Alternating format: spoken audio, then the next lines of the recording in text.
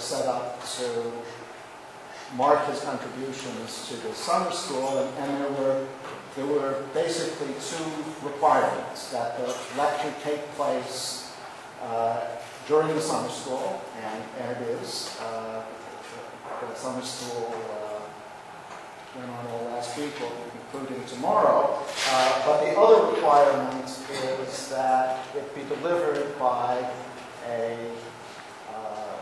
economist of international renown, and we have, uh, I think you would have certainly succeeded there.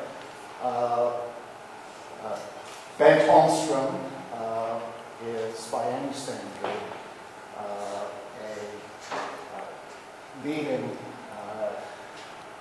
economist in the world today. he's the Paul Samuelson Professor of Economics at MIT. Before MIT, he taught at Yale and Northwestern.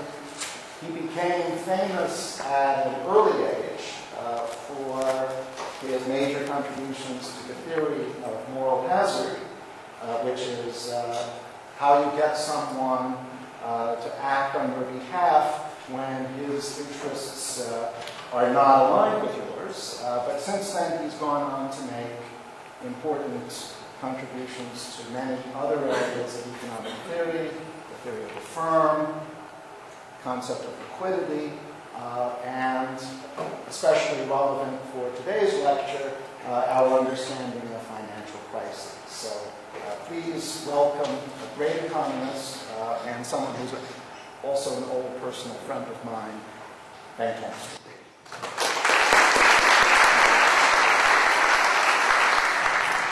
Thank you, Eric. And uh, uh, I'm, re- I'm really deeply honored to be here. Uh, it's a double pleasure in the sense that uh, Ken Arrow has played in my life, intellectual life, a huge role. I studied at Stanford. Ken was there every summer at least at the famous uh, IMSSS at the time when I think uh, theory as, uh, was at almost its most exciting. At least that's the way uh, uh, the music sounds to me at this age.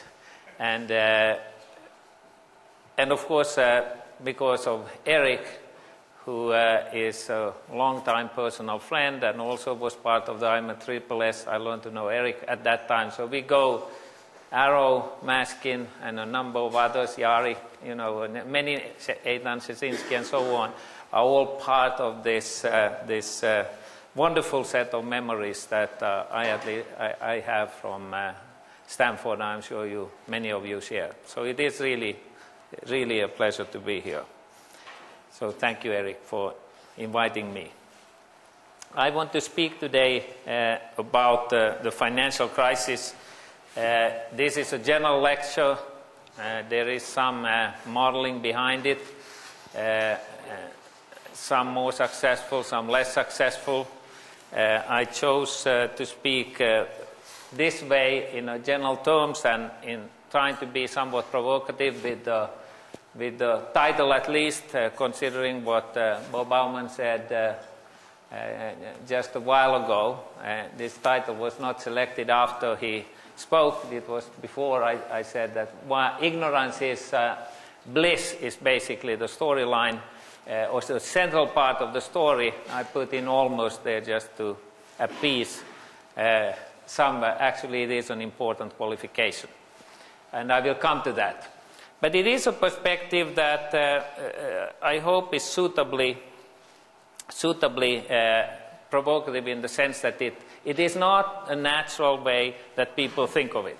I've given this talk in, in other variant, variations before, and, and typically the reaction is one where, where people do not feel, uh, feel this type, is ignor ignorance is bliss uh, may sound uh, like just the opposite of what everybody else thinks right now.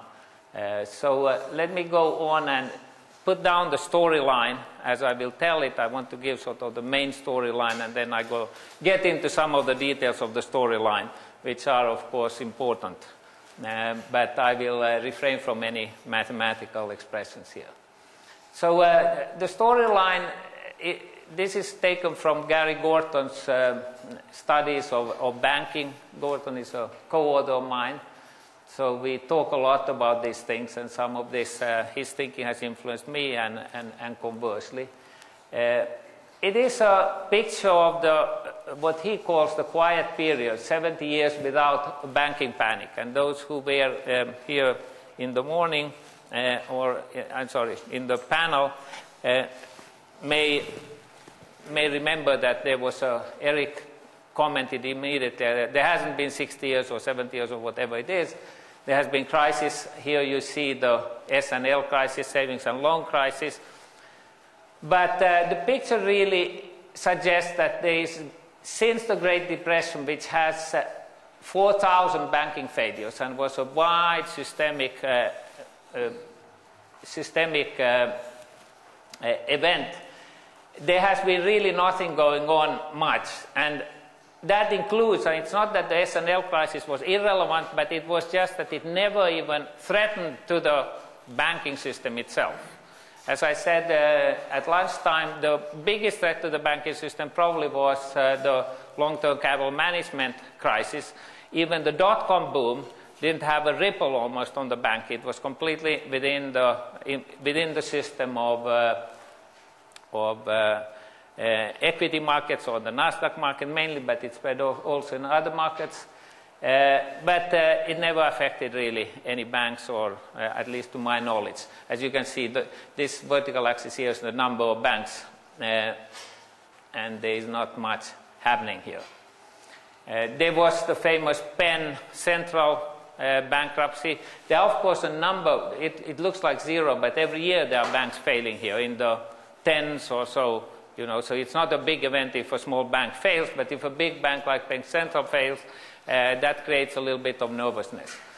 In contrast to this quiet period here, it should be noticed that the period before, you go back to the start with, say, 1850s, 1840s, free banking, national banking area, all the way past when actually the Federal Reserve was created in, in uh, 1916 or 18 or something like that, or was it earlier, somewhere here in this period, there was a continuing crisis, about uh, a little more frequently than one every 10 years. A panic in the sense that, you know, currency, there was a currency famine and there, there was uh, fairly serious effects, real effects, and so on, and this kept repeating itself. Uh, Typically, it was self-contained in the sense that clearinghouses, as they were called at the time, were private institutions that dealt with these financial crises, and they were often also localized uh, because you know there wasn't that much trade, so they didn't spread around the, all of the U.S., but they stayed in the New York region or uh, you know Philadelphia region or you name it, they were localized in that sense. But Nevertheless, for the time, they were significant crises. So uh, a, this line is extremely sharp, and if one, one has to ask why, why is this quiet period suddenly coming, and uh, everybody would agree it is because uh, of two things. One was, uh, one we know for, so, for sure is deposit insurance. It didn't come with the Fed because Fed, as I said, was created here, and then came this huge, enormous crisis. It's conceivable, by the way, in my mind, that this Great Depression was a consequence of the creation of the Fed. And I'll come back possibly at the very end to explain what I mean by that. I see certain parallels with the Fed being created and this happening, this catastrophe happening. I see certain parallels to that and the European uh, crisis right now. Because when the Fed was created, it did not put in deposit insurance. So deposit insurance came only after the, the crisis, or, or during the crisis here in 1934, and that eventually cured is certainly a substantial part of why this doesn't happen, hasn't happened. So much so that people basically didn't think it would ever happen. Deposit insurance had taken care of everything. And uh, the other part that may be relevant, and Eytan mentioned it at lunch, was uh, Glass-Steagall, which pe people sort of poo-poo a lot, but I happen to think Glass-Steagall was pretty important. And uh, even though it was uh, terminated at a time when it didn't seem to have much of effect anymore. But the, now, of course, we have a crisis. In, uh, in, I don't know how many banks have gone, it's not on this diagram, how many banks have gone, uh, gone belly up, uh, but uh, the numbers are higher. But above all, this was a financial crisis in a different part of the system initially, which is the shadow banking system. So when one asks why the crisis now, I think most of us think that it's got to have something to do, and not just with the subprime, but with the whole creation of the shadow pricing, uh, shadow banking system, or rather the enormous growth in the shadow banking system. So that's got to be part of the story. And the why the US, I will also come back to that. That's a very important question. Why did it start in the, in the country that's thought to have the most stable and most secure system of all? So these are important and remarkable questions because, of course, we have a lot of crises around the world, but not in the US. So the common view of the course is uh, this is somewhat of a straw man, but I think it's widely held. Uh, a common reason is seen to be, you know, Wall Street had bad incentives, was greedy, uh, the invention of the originate and distribute model, securitization, complex, opaque, asset-backed securities. These are some of the central elements in people's thinking about why the crisis took place. Starting, of course, with the subprime itself, that was uh, of, uh, of most questionable quality, those loans. Uh, two questions that, uh, that uh, among many that have been asked that I want to focus on as a lead up to my, uh, to my talk is People ask, how could people trade without knowing much of anything regarding the, what was inside these complex opaque asset-backed securities, for instance?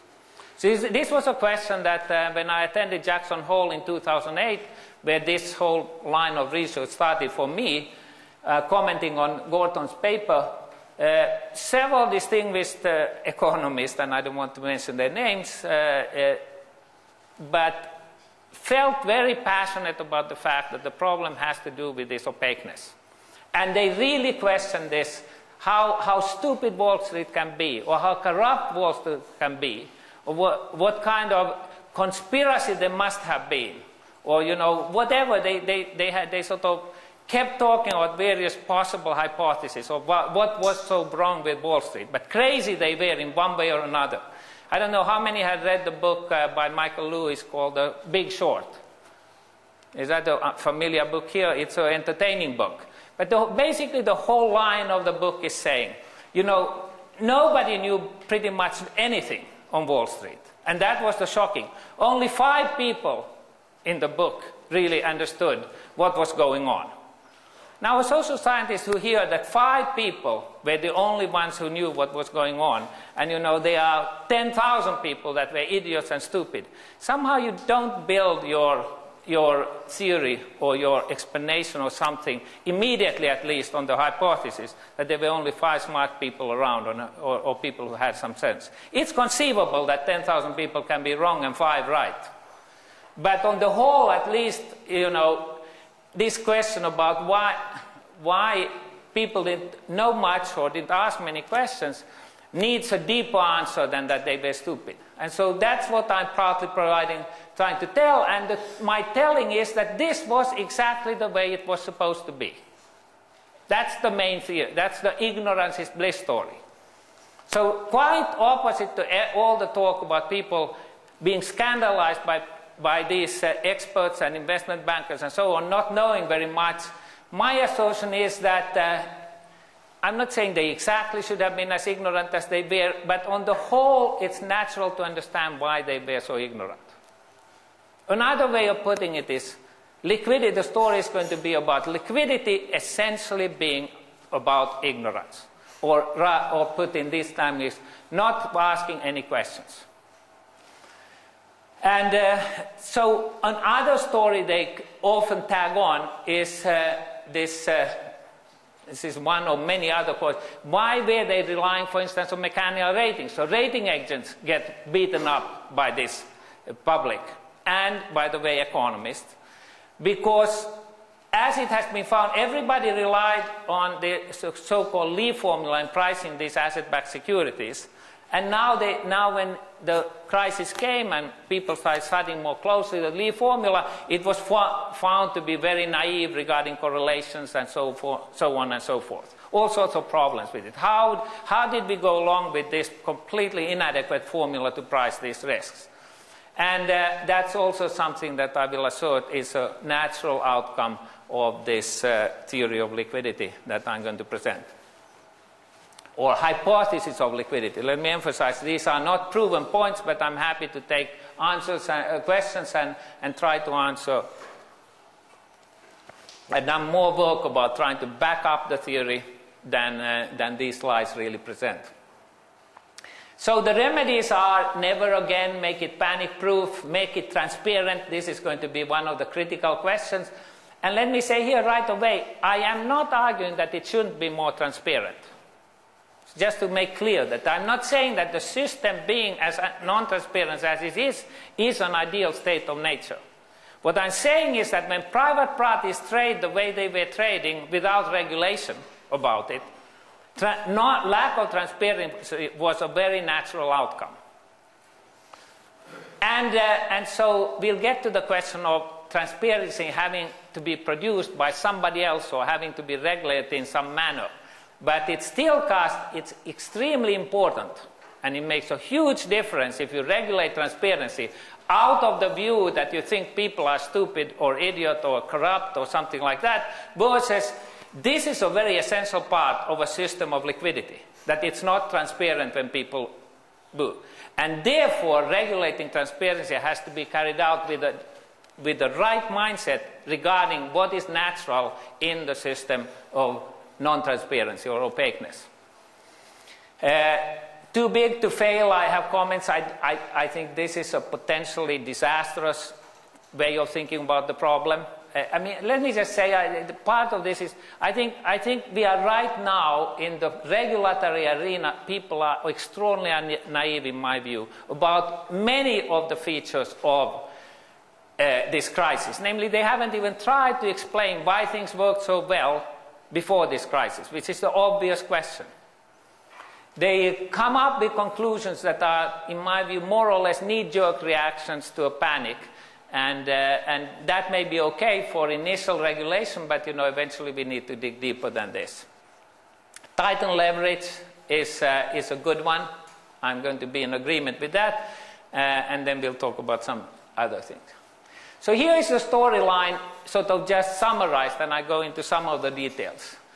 It's pieced together from some of the stories that other economists have told. So one of, it's, uh, this is about global imbalances, that in, in the emerging markets in particular, a lot of, there was a lot of excess liquidity, a lot of income, retained earnings that was looking for parking place.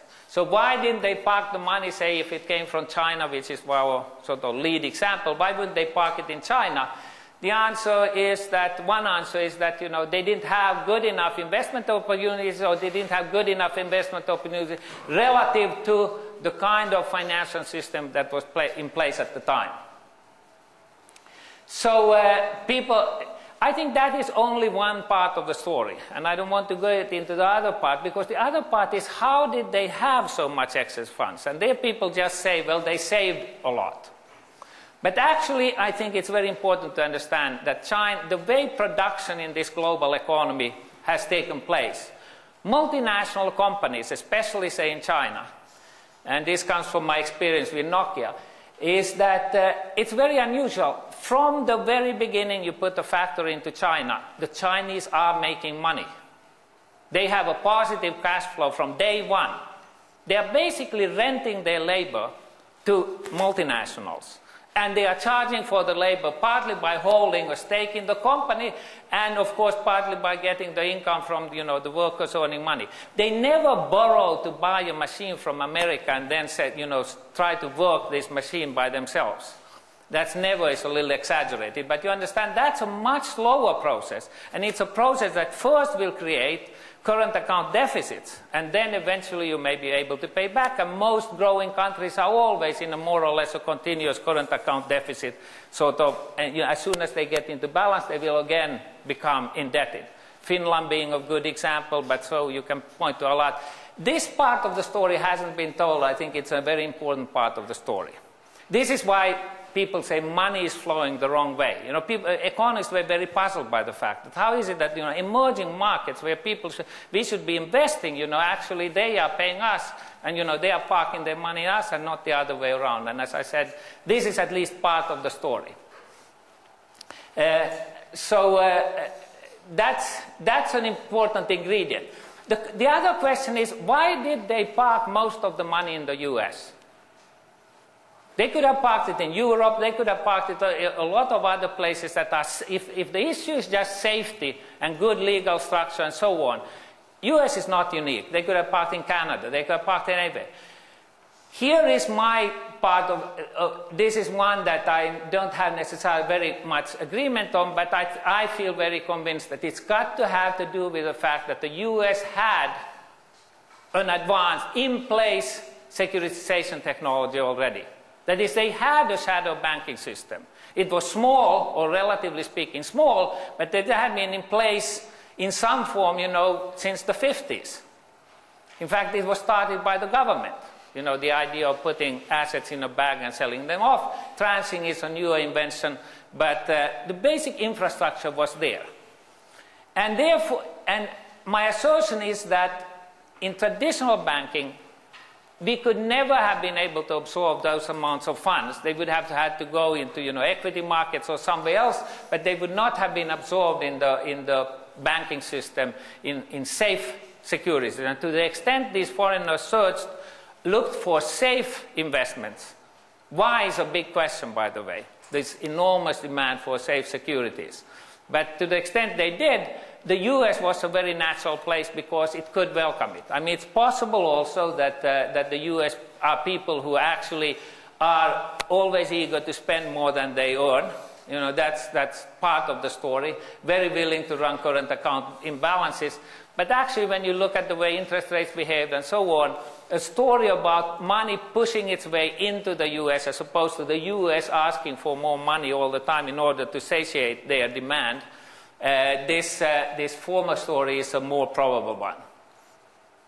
So uh, that's, and, and then a very important part of the story is going to be that this transparency, this lack of transparency or low transparency, is a very key ingredient in enhancing the liquidity of the market in this, uh, both in the shadow banking system as any banking system. And the, we get to the undoing about how, how it happened. So I just put down the saving glut. It just shows you that the U.S. really runs uh, a, a, current account. It, it most, this picture just shows that most of it went to the U.S. You know, this is the rest of the world, and this is uh, U.K. and then you see the most of it went to, you know, the imbalance was really picked up by the U.S. So that's a big question to answer, uh, and I have never, I, I haven't seen any alternative answers. So let me say, uh, uh, say a little bit about the parking space. You know, that's my language for parking money. If you have money and you want to save it for, you don't want to consume it now, you want to consume it tomorrow, you need to find, you have a problem. You need to find a place to park it. And that problem is a very, of course, uh, central throughout this crisis, and it continues to be. Anybody who has, as I said in my class earlier, a million or 10 million or, or a billion or something like that, thinks a lot. Not so much even about, you know, how do I get a good return. Just, you know, how do I, make sure that the money that I have now is actually available tomorrow? It has become an acute issue where you put it in a safe place. And uh, under the pillow is not a good place, uh, for that amount at least. So uh, there are ways to create parking places, uh, and this list is of importance. One, uh, first of all, housing is a natural place, because housing is an enormously large asset. Housing is also a slow-moving asset in the sense of slow-moving price. For, and, and so it's not a surprise that most crises actually appear in real estate be exactly because it is a, not a highly volatile, uh, you know, prices don't go up and down 5% in housing. They go up and now 5% over the, period of a year or something like that. Uh, but uh, they, they are sort of big, slow waves that they come in, so they can be troublesome, and, uh, but uh, housing is a natural place. Uh, one, one way to you know, create parking space for the US is to create build more real estate. And this happened in commercial real estate a fair amount, but on the whole, actually, unlike what uh, Bob Aumann said, actually this is a fairly small part of the story, the new building of houses. You know, you can't build that fast, is the short of it. So uh, it's, uh, I have some numbers, you know, but uh, it, it's modest. It's about 15% on a six-year basis. You know, six years, normal years would be 15% or 20% lower than it actually was, you know, the critical years I'm talking about. So this is not a huge increase in the activity of real estate. Uh, if you add the commercial one, it's a little higher. The big, one of the big actors is home equity loans where the parking goes so that the Chinese who wants to park, you know, $100,000 and he sees that uh, I have, I'm figuratively speaking now, he sees that I have a home where I've paid off the whole house and the house is worth a million dollars, say, just to take a round number. This is a wonderful empty parking space for the Chinese. You know, the, Chinese are drooling and looking, this is a safe place, you know, a million dollars and there's no money invested in it. And so for me to take a home equity loan, uh, I'm benefiting the Chinese who is allowed to actually park the money there. This kind of minds, this is a little allegorical story. It doesn't happen this way, but you understand the value of actually taking out a loan is that you allow somebody else to park his, his or her money in it. And so home equity loan indeed grew enormously because the way somebody actually got attracted me to this deal was to say, why don't you take a home equity loan, you know, 2% or 3%? Let me tell you, the phone rang every week. Eric probably can also tell if you had, you know, every week you got phone calls, don't you want to take a home equity loan? So Wall Street was actively seeking for people who had, you know, space in their home for, you know, parking uh, emerging market money or whatever money it is. This is, uh, you'll see later a figure to see that this was actually a huge part of the story. Uh, a second part which very much relates to this field, and, and I'm emphasizing also here, is uh, people think the shadow banking system was as a whole some kind of a scam and you know it was some idea of you know some game or ponzi scheme whereby people were playing you know uh, games with un, with, with, the money of uh, more naive people? And the answer is when you look at the originate and distribute model and the repo market and so on, it allows a much more efficient use of collateral because once this collateral, this, this value of the house is out there on the market, it can be, you know, it's basically like a, it could be an Arrow-Debreu type market. So it gets allocated and reallocated all the time. So when, when, when we come later into these figures, you'll see that there's enormous activity, huge volume in the so-called repo market, which I'll explain what it is. The, and, and, it may look like it's strange that the volume is so big. Every day, you know, they're unwinding, you know, trillion dollars or something like that. And then what happens during that unwinding, collateral gets, in subtle ways, reallocated. So this is also, I have never seen uh, anybody studying this, but I think, or maybe John studies this, I don't know, he's smiling, so that must mean he has a paper on it. Uh, but uh, is there anybody has written a paper that other people can read? I, I, modified my question, but we, we can talk about it. But there is, of course, one can write more. We have a model also, and John has a model of collateral, you know, general equilibrium type model of collateral, but I'm saying that the reality of the repo market is one could be interpreted as attempting to make efficient contingent use of collateral. Because it's like contingent parking, it's like time sharing in parking spaces. You know, rather than have a house sitting on the 30 years in a, in a bank and not being used or it's being used in different ways, you know, uh, like I had when I lived in a small town in Connecticut, my loan was just there for the 16 years that I was there, and then I paid it off. And I don't think it went anywhere. It was never traded anywhere or something like that. That's like I had a parking space sitting there, you know, empty uh, uh, most of the time or unused. If you, if you go into the market, the market constantly looks for collateral that can be used whenever, wherever it is uh, most efficiently uh, uh, used. Then there is an interesting, there, there's some work by especially Jean Tirole and, uh, and Emmanuel Farhi where bubbles, price increases in general, of course, absorb some of these parking, you know, it creates parking. When prices go up, that means that there is, uh, there is uh, you know, more room. It absorbs some of the money, and bubbles can be seen as potential parking spaces. And then, of course, was created also new kinds of, of instruments. So uh, new, new loan pools. But the, the thing you should have in mind is that there's all the time money pushing in. What is Wall Street trying to do? Wall Street is trying to create parking space for it.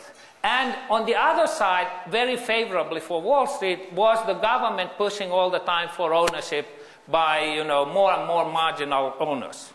And so it, Wall Street is doing what it's meant to do, which is intermediate between demand and supply, and that was basically what, that's the way to look at it. But it's important to understand that the more that comes in, the more marginal you necessarily have to be. You have to be more creative and you have to be more marginal.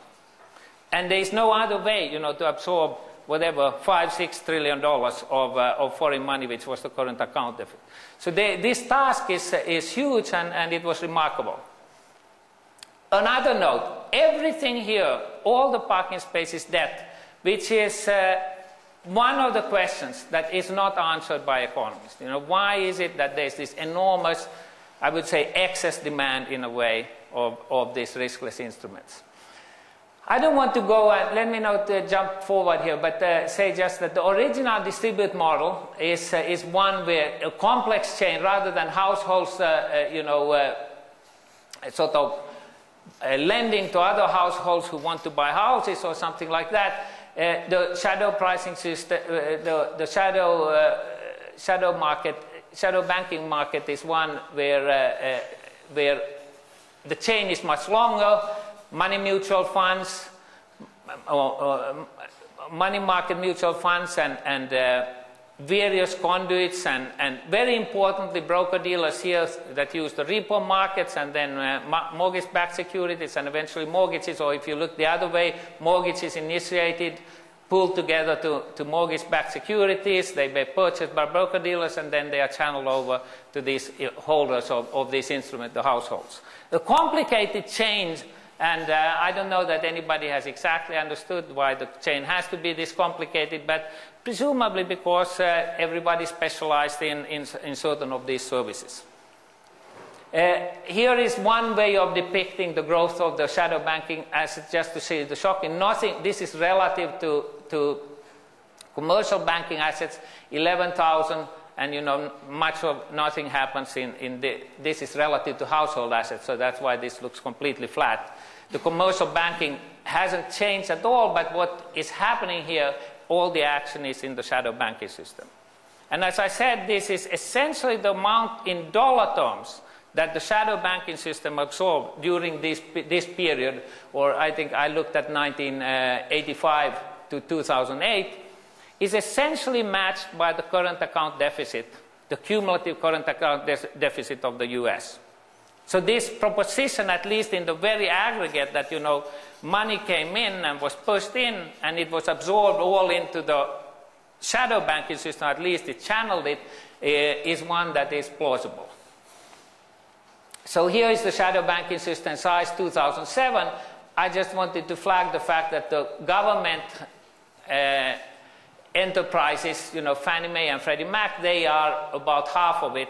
It's a huge portion of the story. But uh, the system itself it uh, eventually grew larger than the actual bank-based system, uh, uh the one that is uh, we call regular banking. A quick, the point is, I just want to say securitization looks like tranching. I think you most have, you, or all of you have heard tranching. You take a pool of mortgages, you put them in a trust, you split up the trust, you think of the trust as just a company, and then you start tranching it in the sense that you issue securities that are of the highest quality, AAA, all the way down to lower, even lower than triple B, and then there may be even something that's equivalent to equity in the bottom. And the point is that when money comes in from these payments, repayments or payments of interest into the, uh, and principal into this uh, into this uh, master pool of assets, it gets distributed so that the senior tranche, to simplify a lot, so that the senior tranche always is paid first and then comes the other tranches and it, it's sometimes characterized as a waterfall. And so these are most liable to actually fail. If, if, if, that, if that money stops flowing, these will feel it uh, first and, and the AAA uh, feel it last. Uh, there is an assertion, by the way, just to say, considering all the talk about how damaging this is, uh, uh, Gary Gorton has studied this, and he's not an entirely independent observer because he, he worked for AIG, but uh, he has studied uh, all AAA tranches that have been issued as, uh, as uh, in this securitization process and asked, to this day, how many of them have defaulted? And the answer is essentially zero. Now, that's not the same state, uh, oh, so you, it's not correct. No, it's like saying you're on the jump out the 100th story and you're on floor 94 and you say, so far, so good. Yeah, yeah, it hasn't, and of course they have been downgraded. And, and the prices have come down, so it's indicative that they will default. Is that what you wanted to say? Yes, okay. But I just want to say that we are, we are just looking right now, it has not yet defaulted, but the prices have come down in several instances severely. You are exactly right. But I thought this is still a shocking uh, fact that I would have thought that there would have been a lot of defaults by now, but they haven't. Yeah, well, that doesn't matter. AAA is the, it's, the, it's the big chunk that is really of big interest. it doesn't count as a loss because you sell the house for three years. I understand. And that's what they are waiting for. Okay. Uh, just a word of alchemy of securitization. I use the al alchemy because uh, Paul Krugman says, what kind of alchemy is this? You take crappy assets, you know, that are, are defaulting with a high probability, and how can you get anything out of it?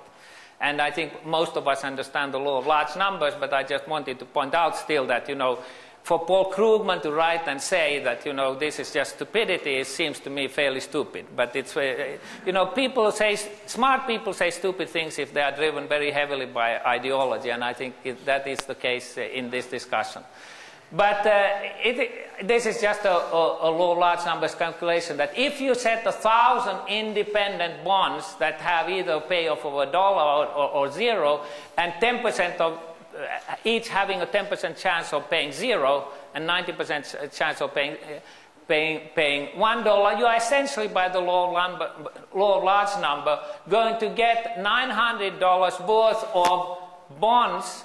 You can transit so that you get $900 worth of bonds that fail less than 1% of the time, meaning they, they get their full repayment uh, back during. So uh, to, to, to say layman, this is a shocking thing to understand that this is pretty crappy stuff that defaults 10% of the time. And, uh, and this is significantly more secure. So the law of large numbers is enormously powerful. And, and when, these, uh, when these assets, securitized assets, were, were, uh, were rated by these various agents, it wasn't that they didn't look at all at correlations. What they didn't realize, and maybe in hindsight that is stupidity, that all the, uh, you know, when things start to really fail, then they are, they are almost 100% correlated or close to it. Uh, I want to say uh, uh, the repo market that we, uh, is, uh, is, at the center of that picture of, of banking. The repo market is basically, and don't read exactly what the contract looks like, the repo market essentially can be viewed from this perspective of money coming in.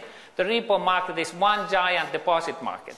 There's a problem when people come with, you know, millions or billions of dollars and tries to park it. They can't park the billions of dollars in a deposit. They, the deposit insurance or the banking system will not cover it. So in the repo market, in, the size of the deals are in the millions. And sometimes in the hundreds of millions or tens of millions. So in order to, how do you protect such an investment from not from a depositor, how do you create a deposit insurance? The answer is essentially that you are going to back it up by collateral. So uh, unlike uh, uh, this explicit collateral, and in particular the demand for AAA collateral grew very big in, as a way of insuring. Not everything was insured by AAA, but AAA collateral was uh, an important part of the story.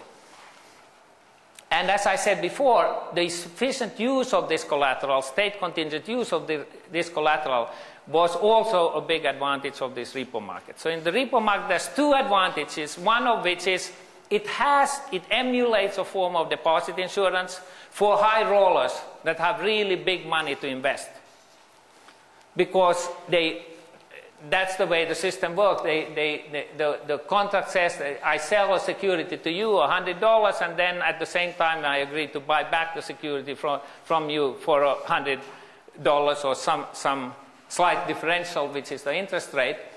And this strange looking, you know, simultaneously buying and then, then uh, repurchasing, uh, I'm sorry, selling and then repurchasing it is effectively like a deposit because I, if it's a daily, say, overnight repo, I can always pull it any, any day. So I, on one, every day I can sort of withdraw my money by simply not rolling it over.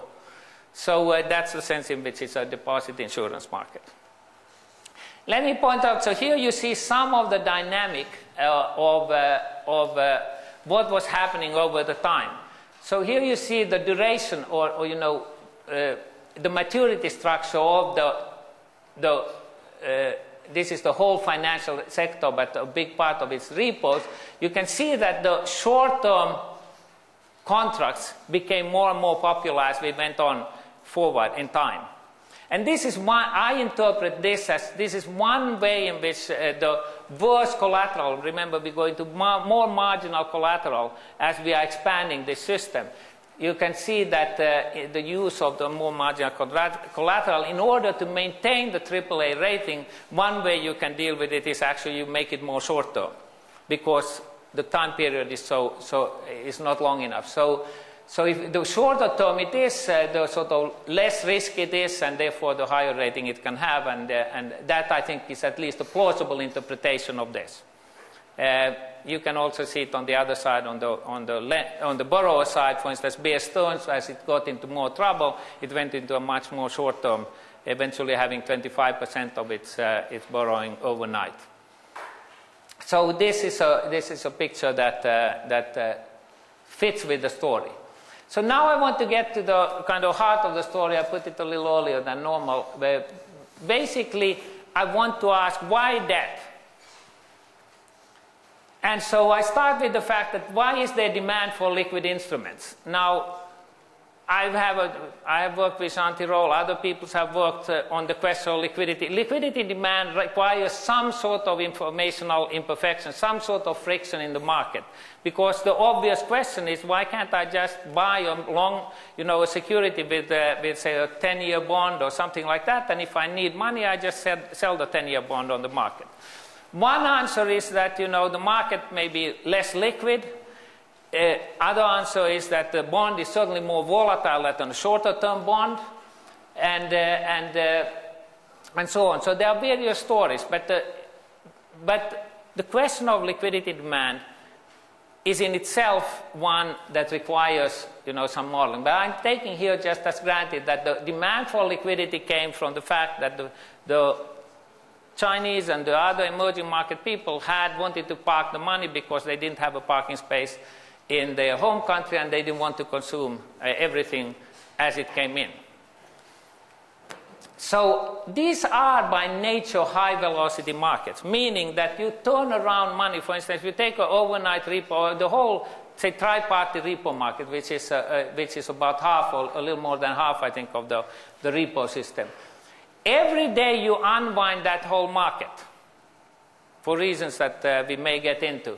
But the point is there's trillion of, over trillion of dollars that has to, you know, be sort of reasserted and, uh, and this just, you have like an hour and a half or something like that to sort of confirm that you want to still keep rolling over or are you pulling it out. This is not a market where you can sort of say, well, I'm not doing it because I'm not sure about things. Because if you go, if you suddenly say, a few of these players say that you know, I'm not rolling over 100 billion or, or, or, or the 10 billion or whatever you you own. These are frequently in billions, you know, that they own. For instance, to take an example, Lehman eventually on the last day wanted to roll over 5 billion just to get one day further uh, and didn't get the money.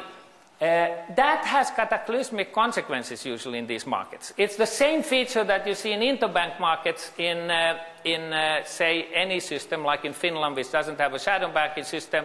The, the end comes when one player pulls his money from the table.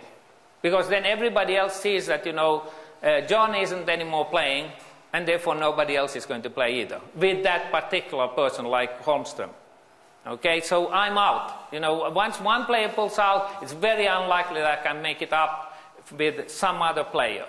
Uh, depends, of course, on the size and the state of, of where I am and so on. But, uh, but the point is, these are, these are not like stock markets where if you feel uneasy, you can just decide, I'm not going to buy today, or I'm not going to sell today. These, you know, stock markets by comparison are contemplative markets. And as a consequence, there's, there's no time for questions. So you see banking in general characterized as basically banking being about trust. As the saying goes, if, the, if a banker has to prove uh, his net worth or you know, his credibility, uh, then he's already lost it. So that saying has a meaning. It's, it's not just, you know, that, that somebody came up with a big quip. Every banker will agree that these are trust-based markets. Trust-based doesn't mean that I look you in the eye and think, well, you're trustworthy. Trust means that I feel confident enough for the time being that you actually can repay. This is a very important part of the nature of, of the story about liquidity and the low information character.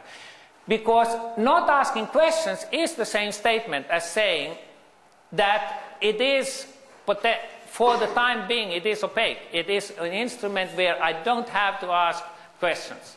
So this is why I want to use securities that can be trusted uh, without information acquisition.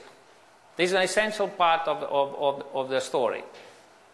And for that, Debt is the natural instrument because, as it turns out, debt is a, has low volatility. The value changes slowly. It's so the better the underlying, the, uh, the, the lower the volatility of the underlying asset is, the better, the slower is, of course, the security that is written on top of it. And also, what will, what's uh, is going to happen is that, and by the way, that's why housing is so central here is because housing is a slow-moving asset, uh, or price is slow-moving. Securitization is important here because it enhances the, the, the, the movement slows through diversification, it slows down. But there's also the fact, the second fact, which is that it means that these are instruments, debt is an instrument that doesn't trigger information acquisition. So let me explain this. This is, a, this is in red because it's important. Everybody would agree that symmetric information about the payoff of an instrument is essentially the same as saying that it's liquid. In order for something to be liquid, it must mean that we are, we are having roughly the same instruments or perhaps precisely the same info. We understand the value the same way, in these markets at least. From that, people jump to the conclusion that symmetric information is achieved by bringing all the information on the table. The logic symmetric, we have all in agreement.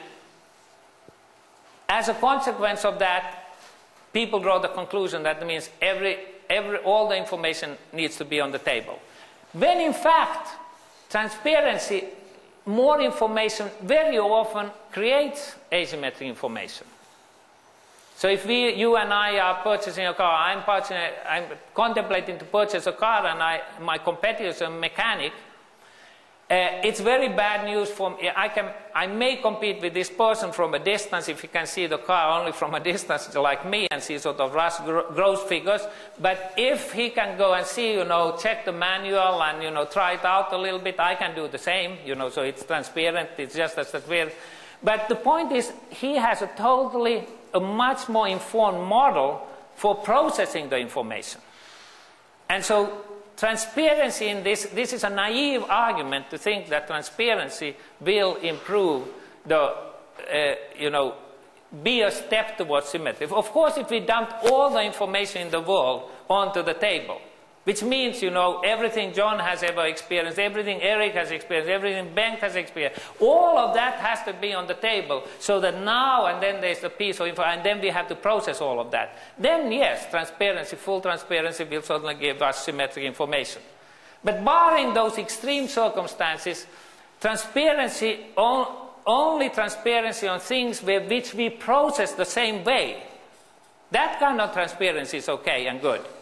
But transparency on issues that we might actually process very differently is certainly not a very uh, a good way.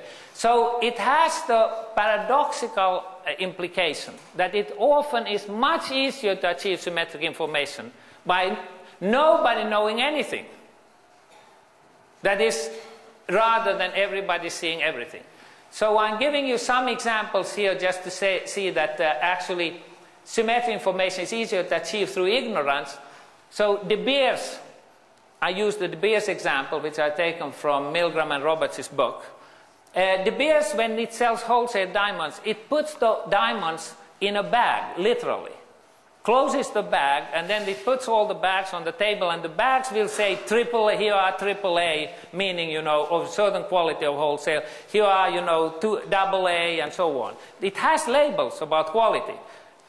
De Beers has put the labels on the quality. Buyers cannot open the bags. And the argument Milgrom and Roberts gives, and, and, the one that I think is plausible and is used here as well, of course, one reason is if they started open the bags, that would take some time. So, you know, it would slow down the trading process. But more importantly, perhaps, if at the end of the day, or, you know, in the process of looking at these bags, you worry that somebody is more qualified at looking at bags than you are looking and so on, you would get into this asymmetric situation. You know, I know that, you know, uh, Eric is a specialist on diamonds. He goes and looks at the bags and then he walks away with this bag. I know that one good bag just disappeared. And so the quality of the remaining bags is a little lower. So you understand that this transparency in this context is clearly a bad thing for liquidity and for maintaining symmetric information. Car auctions, as it happens, and it has, uh, Genesove has written a paper, these are ones where you get just a very short period to see, look at the car, and then it's traded. One reason is, of course, these are, these are used cars, so they are supposed to churn fast. But another reason is most likely also the fact that if people could really start driving, there are very strict rules. You cannot start the car, or is it, you know, you can't drive the car, or they, you can't look under the hood, and various conditions that say you can't explore it too much. It, that's not about speed as much as it is about indicative that there is an adverse selection is at issue. Coarse bond ratings, of course, is a perfect example. Why so coarse?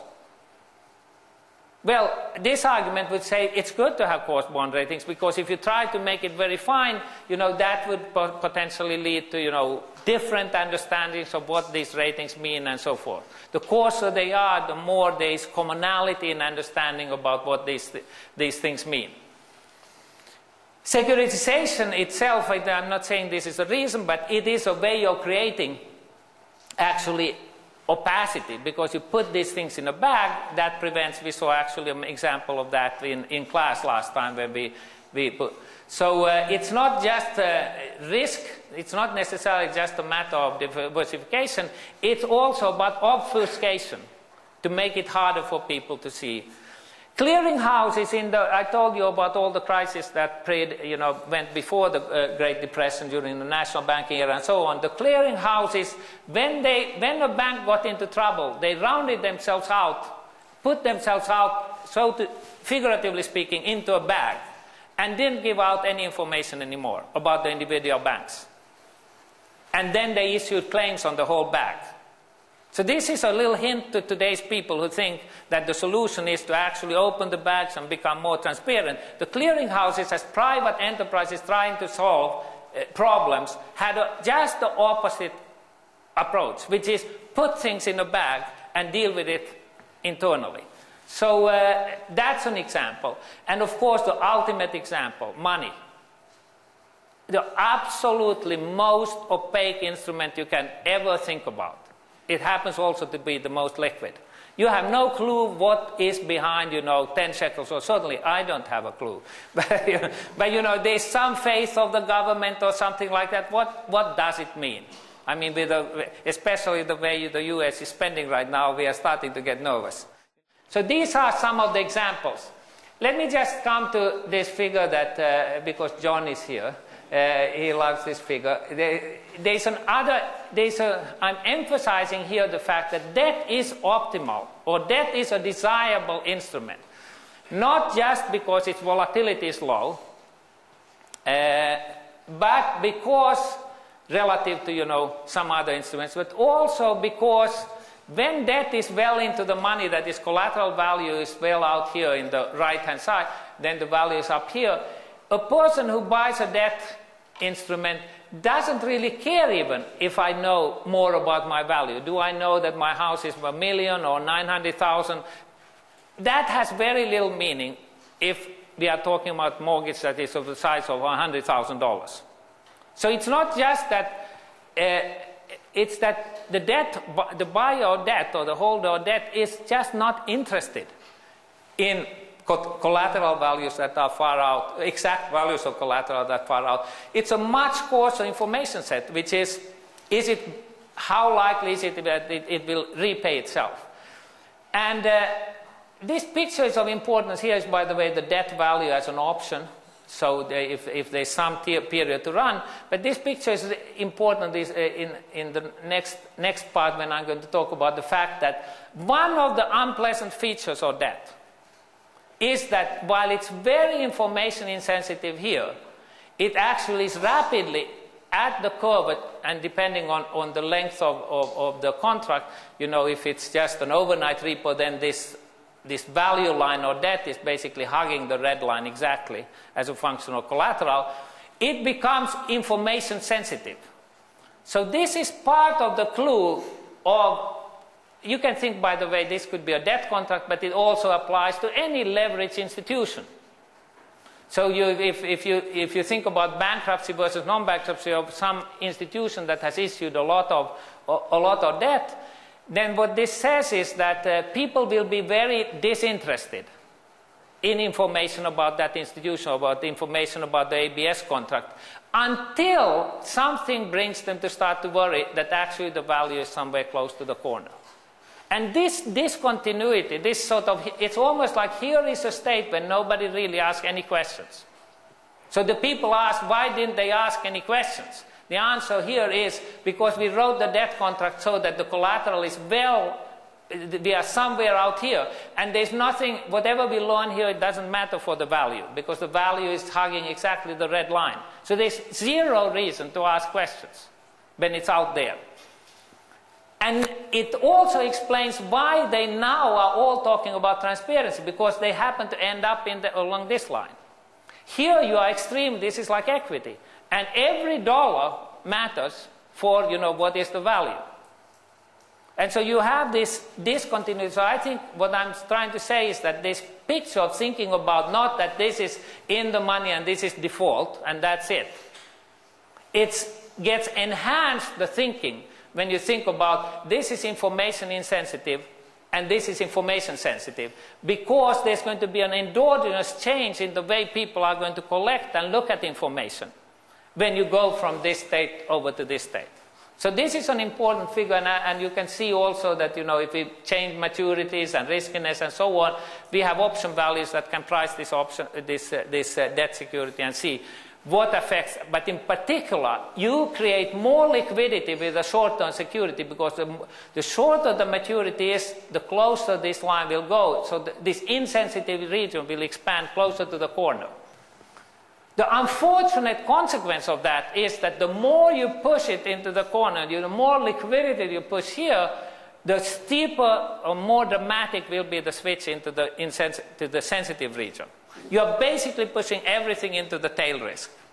And uh, that is also, I think, an important aspect of why debt always is involved in financial crisis. Because you, it's, it's for two reasons. One is that nothing happens in good times, and then there's a fairly sudden, you know, turn, turnaround in bad times. So I'm using this as a trigger. There are other reasons also. But the second reason is also, as I said, the collection of information that I, I, I don't think about that state at all. I'm just going on trust, and then the game completely changes around. So there are papers nowadays where people write it basically as a zero probability event of default and thinking about this as basically saying a zero probability event has happened.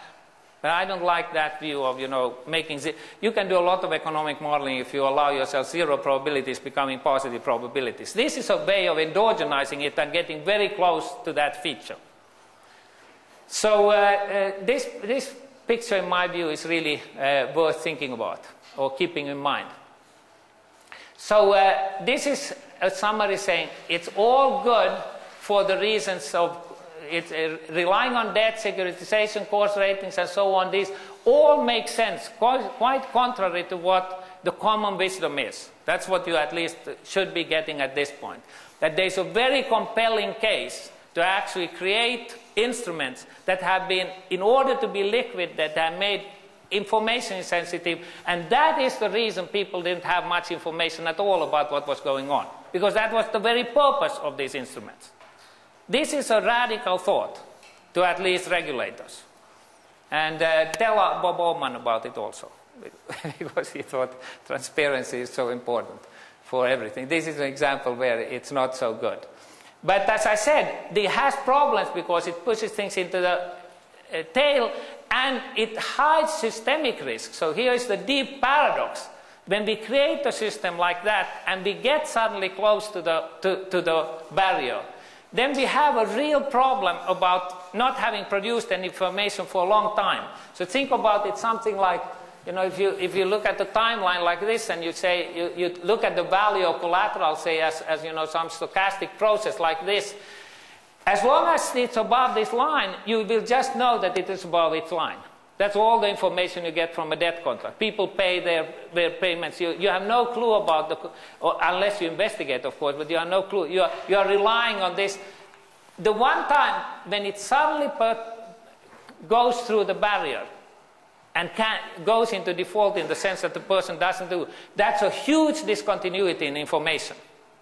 Unless you have been following some information along the way, but you, according to this thesis, you haven't.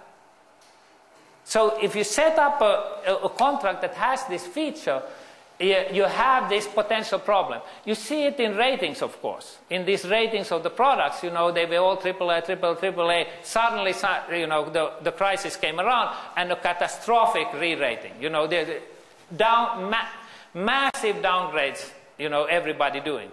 Possibly, in my view, one of the reasons the crisis gets so deep because they over downgraded these instruments history may prove still poss the possibility that the big error wasn't the AAA ratings. The big error was becoming a, going into a panic as a rating agents and downgrading so much these instruments that you know it had big effects on, on fire sales and such. That's a I'm just throwing it as a, as a radical thought about the possibility. So Steve Ross, for instance, such that ratings should actually be ones, they shouldn't just give the probability of default, they should also start to talk about the probability of downgrading because it affects who can hold these instruments and therefore affects the price of the instruments. Now, banks, uh, let me just point out that this tail risk, uh, I, one might think that this tail risk is some sort of big flaw in the system. That the, you know, how did the banks end up actually holding the tail risk?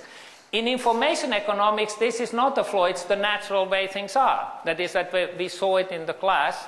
You know, for those who have been in the class, you saw the basic idea. You sell debt and you hold on to the equity yourself. So banks, in part at least, they were basically underwriting uh, certain or, or gave, gave backstops.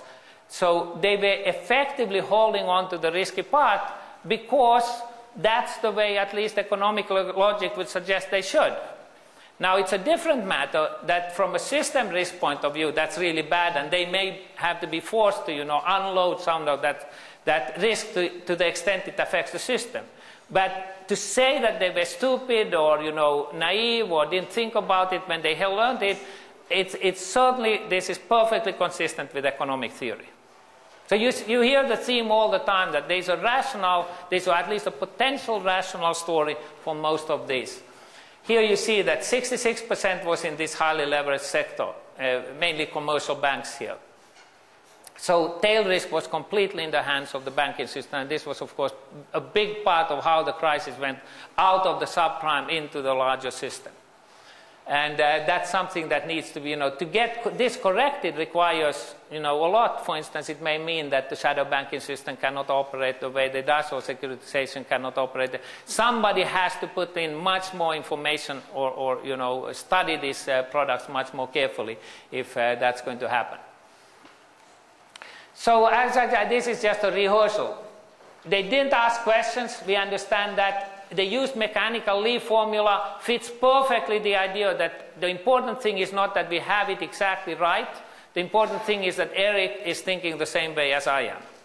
You know, I don't want to, if suddenly he comes with a masking formula, which I know, of course, is much better than the Li formula, that would make me incredibly nervous because now he has more information than I have. Uh, I'm using this general stupid Li formula. So any, you should, you should think about these AAA assets as private money in this shadow banking system. And it's uh, using a different formula is like creating a different kind of money.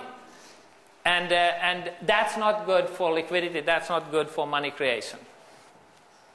Uh, let me just say, in reference to this picture, for instance, the money market funds promise to not break the buy. They promise you a dollar back if you invest a dollar. That's the, the uh, simple, if we say it simply, that's known as breaking the buck when they are unable to pay you back the dollar. But unlike the bank, this is not, this is just a loose promise. They don't have to, you know, obey, obey it. It's just like a dividend promise. It's stronger than a dividend promise. But this has the same feature that if you have a system where they always promise to pay you back at least a dollar, they pay interest and other things as well, then that is actually a, a, a, a worrisome, a potentially at least worrisome uh, uh, for the fact that it can lead to contagion. So when you saw the reserve fund suddenly break the buck, meaning it went through this, that was a big shock to the system. And it came, of course, at a very inopportune time with Lehman just having fall, uh, fallen.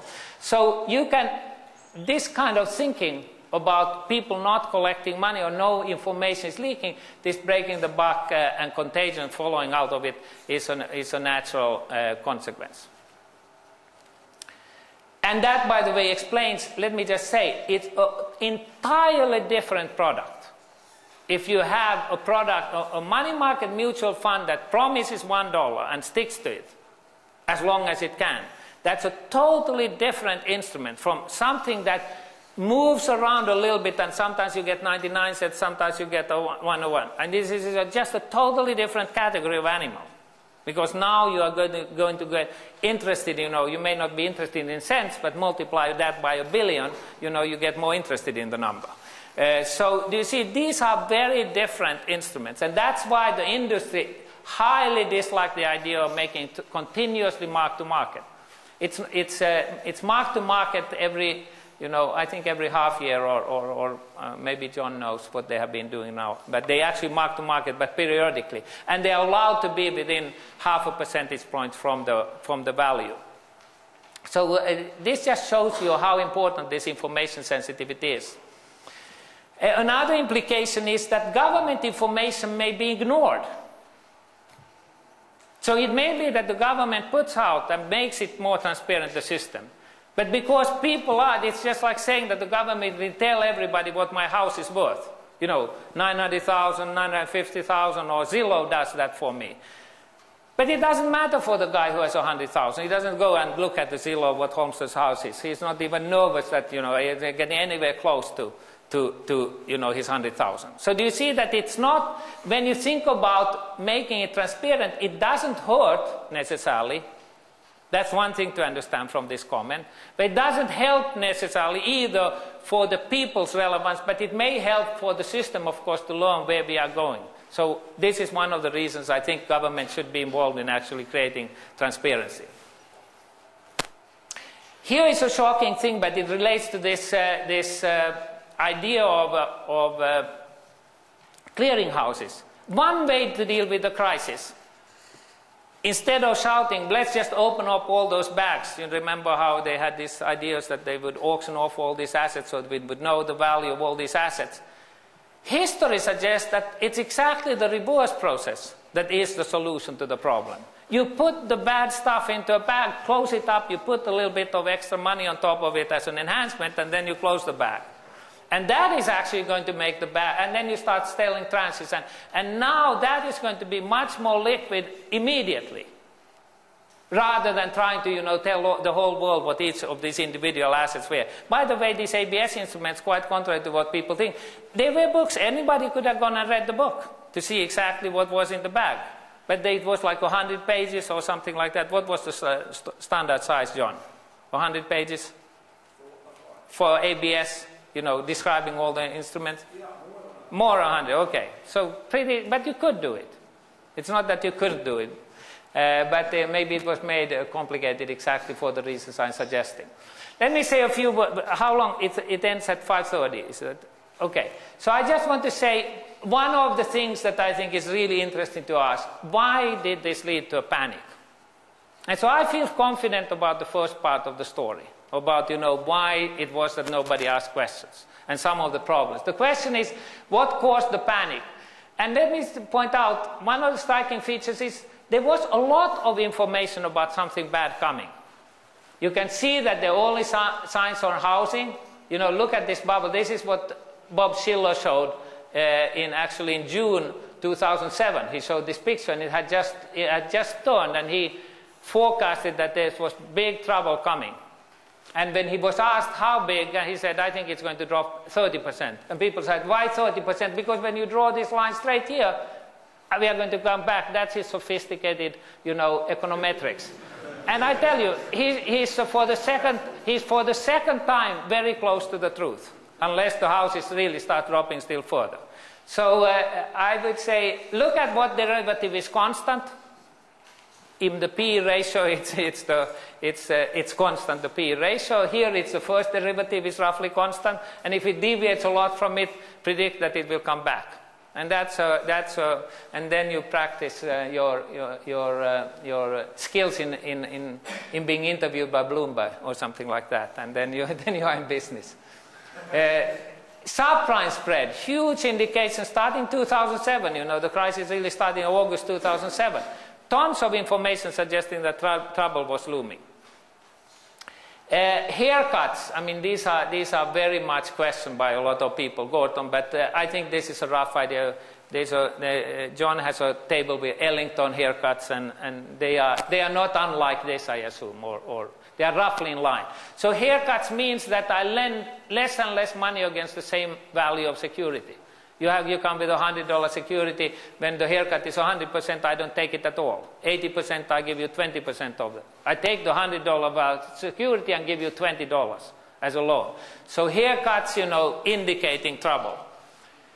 Here you see how on average, this is Gorton again drawing a picture of average increase in the in the spread of, of these ABX indexes. Never mind, a, ABX index is basically a, a valuation of these, uh, uh, a market valuation of these uh, products, these ABX, ABS products. The thing that this is a scary picture. I used to, I, I should have perhaps put it. It's a scary picture because you get all this information of impaired assets. And not much happened to the liars here, which is measures, you know, basically as a market assessment of systemic risk. That is, what is the interbank market saying about the risk in the banking system? And not, I mean, something happens after 2007, but not much between that and then the eventual 2008. And then when Lehman goes, it just shoots up. It has, by the way, come down significantly since then. But this is a scary picture because it shows that even when you have the information, you know, on the table, there's a lot of information. Still, people miss a panic like this. So this speaks in that sense again, another way of speaking against transparency. Maybe the, it's not going to be as effective to be transparent uh, as a government. You know, you may need some more measures you know, maybe ones that put some lid on, uh, on, the, on the leverage or something like that. These are just pictures I go through. Let me just show that uh, people have said that uh, uh, Gorton has, has put forward the notion that there was a run on the repo. And people uh, said that, well, repo markets actually, when you look at the repo market, there, there, isn't, there isn't enough of repo to make a run of it. But actually here, uh, here you see a picture where if you look at Lehman, it is exactly its repo funding that really dropped. I mean, maybe other funding as well, but look at this, 200 billion, and what is this, a week, a little more than a week? You know, going from 200 or 150 billion, you know, suddenly, uh, 150 billion down to zero in one week. So this means that their collateral, and what's so, here is a big paradox to explain. They had treasuries to put up as collateral. But people wouldn't even take the treasuries. And the plausible reason why they wouldn't take treasuries as collateral wasn't that they were suspicious about the value of the treasuries. They were suspicious, they weren't sure how this legal will play itself out legally, this thing, if Lehman collapses. Maybe government comes involved, you know, some strange payments, you know, God knows. I think John has his own set of problems at Ellington. Repo market has legal uncertainty. That's one thing that we learned. And, uh, and uh, historically, that has been also the case. So that, that's probably why they didn't even take, uh, but once you get near bankruptcy, they won't even take your treasury bonds. Because uh, the fear is that it's brought into the bankruptcy proceedings, and it's not bankruptcy remote so that you can sell it. You have to actually wait till all the assets have been sorted out. And that's the uncertainty. Here you see, I just want to show, here you see the home equity loan. That's the biggest chunk of the ABS market. The home equity loan is, is, is this, how much is it? Then you have other loans, you have uh, various residential mortgages and so on. But home equity was really, this is actually, I don't know, I'm not confident about the word subprime here, but, uh, but that's, the, that's how it's said in Adrian and Shin, but it seems to me odd that the subprime would be that big. I don't think it ever was that big. Uh, so why Southern collapse? And uh, one story is the one I'm telling here that you are going from a state of ignorance into a sudden state of shock. That it isn't, you know, something was not the way you had imagined. It's like an earthquake. And that can create contagions. It can create fire sales. There's another state, the global games literature, for instance, for those who knows it, it, this fits pretty well with the idea that you see and see and see things, but you don't act until suddenly you hit a, you, you know, you reach a threshold, and then we switch to another equilibrium. Uh, I haven't seen that formally modeled, but it's possible. And, uh, but the two key, I would say, contenders are something have, there was an information switch that really changed valuations or created confusion in the case of Knightian uncertainty. That's one of the class of explanations for the for the the other one is saying that uh, we ended up and you can end up with fire sales for that the other class of explanations is that fire sales uh, kicked in because either through adverse selection, which is the one I mentioned, but either because the buyer side was very thin. There are also nowadays models where it's the seller side that is very thin. But whatever it is, fire sales is another line of modeling or line of explanation. And then, of course, we have the, the whole deleveraging story. This is about what gets the deleveraging started. And then the deleveraging kicks in, and then, you know, uh, that's sort of the second phase of the crisis. So this is the initiator of the. Okay, so I'm, uh, I'm going to just go uh, back, so I'm at the end. Let me say the lessons. One of this is, you know, in an ideal world, we wouldn't have debt. That's important to understand. In the, in the Arrow, Debreu type of capital asset pricing model, you know, debt doesn't play any role. We all have a slice of whatever securities there are. So it's, it's like we have one giant securitized market and we are just, you know, take, what are you shaking your head? capital asset pricing model versus stock and the debt. Yeah, but we hold equal shares in. We have, People, some people go short and some people go long. The risk tolerant go short in debt and risk uh, averse people hold the debt. You have debt in capital asset pricing. They, they hold all proportions in the, in the, in the efficient, efficient portfolio. Okay, so I said something wrong.